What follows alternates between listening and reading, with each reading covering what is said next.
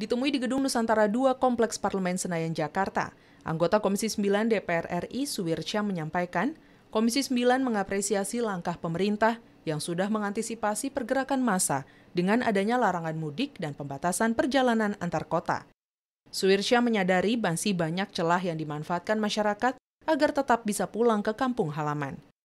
Walaupun petugas pemerintah sudah uh, melaksanakan tugasnya dengan baik, namun masyarakat kita ini memang agak sulit. Malah ada kepercayaan, wah itu tidak ada itu, itu omongan pemerintah aja itu oh, COVID itu. Sampai sekarang ini ke kampung-kampung banyak penderita COVID itu sekarang. Kalau dulu kan di kota aja klasternya, sekarang di kampung-kampung. Suirsya menambahkan, meningkatnya angka penularan COVID-19 di daerah perlu diwaspadai oleh pemerintah daerah. Suirsyam berpesan kesadaran masyarakat untuk menerapkan protokol kesehatan perlu ditingkatkan melalui program-program sosialisasi di daerah. Suirsyam juga meminta pemerintah daerah bisa memaksimalkan peran puskesmas untuk melaksanakan tes and tracing secara tepat sasaran.